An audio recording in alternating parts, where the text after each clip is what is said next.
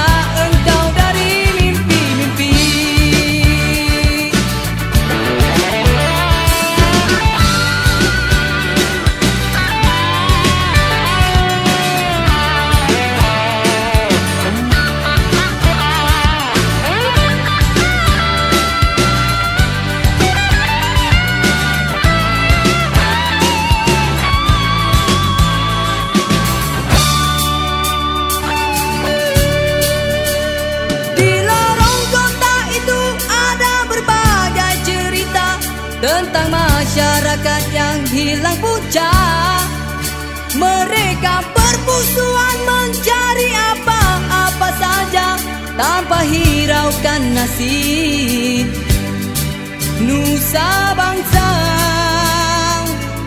Oh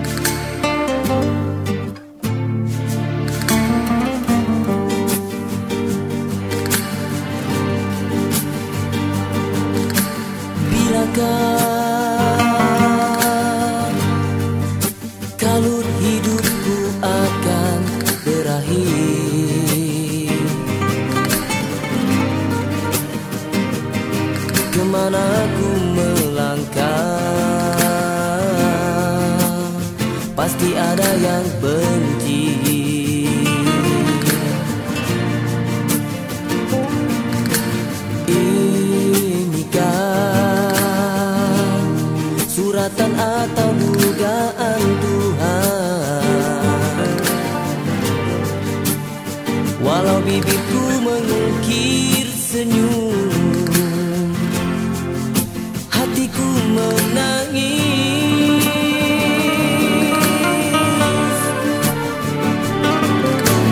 Tak siapa